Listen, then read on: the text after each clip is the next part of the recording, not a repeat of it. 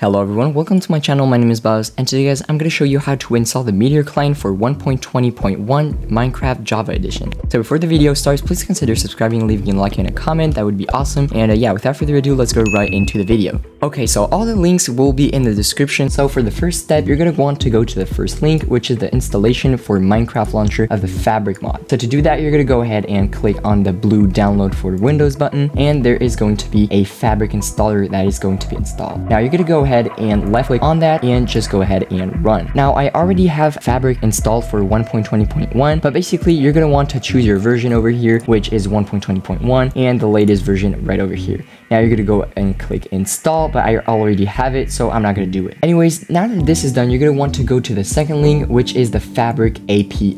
Now you're to go ahead and click on the 1.20.1 Fabric API one, and you're going to go ahead and click download. Once you have installed this file, please go on the third and final link, which is the Meteor client. Now the Meteor client is in 1.19.4 or in 1.20 slash 1.20.1. Now I want to do a quick disclaimer guys, please don't use these sorts of clients in servers that forbid them because you will be banned and this is a warning and I will not be responsible for anything that you do with these clients. So now that this is done, go ahead and click on this button, which is the 1.20 to 1.20.1. And once you click that, you are going to have these two files with the Meteor client and the Fabric API. Now that you have these two files, go ahead and type Windows R and go ahead and type percent app data percent. Now that you have that, go ahead and press enter and you will be greeted with this window, which you can see we have a .minecraft folder. Now click on that, go ahead and find your mods folder. If you don't have one, go ahead and do new folder and just rename it mods. Now go ahead and click on that mods folder and as you can see, I already have these two files installed, but what I can do is you can just go ahead and drag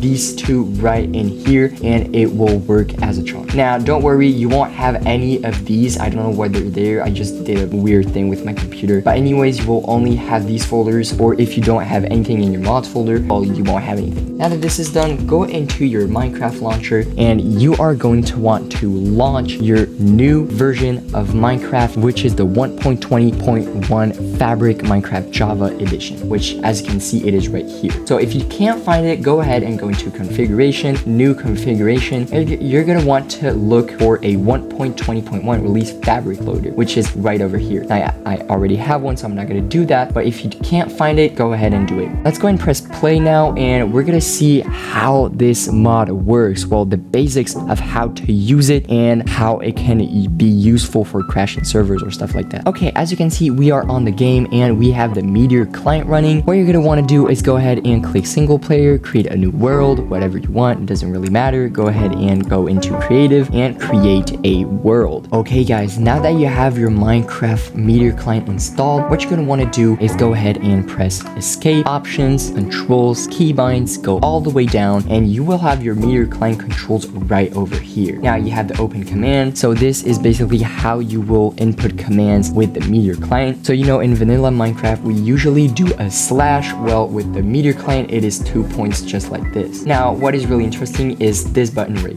here. You can put whatever you want. I just put V, but this is going to open your GUI as it is written right over here. And you will be able to enable any hacks you want. So let's go ahead and do that right now. Now let's go ahead and press the V button. And as you can see, we have the GUI that is going to load up here. Now, as you can see, we have a lot of titles and a lot of things going on right here. Now, I'm just going to show you the basics. So as you can see, we have the title named combat, and this is everything that is going to have to do with combat. So we are going to have kill aura, we're going to have criticals, we're gonna have uh, auto uh, crystals, crystals aura, as you can see. We're gonna have the player. This is everything that has to do with the player. So fast use, fake player, uh, EXP thrower, anything like that. Now we have the movement, the render, the world, and the misc. Now, as you can see, we have two things over here, the search and the favorite. Now the search, you can basically search whatever you want. So if I want to go ahead and search a specific hack, as you can see, I can have it right over here. Now, this one is just if you want to use hacks really often, if you have your favorite hacks, as you can see, it's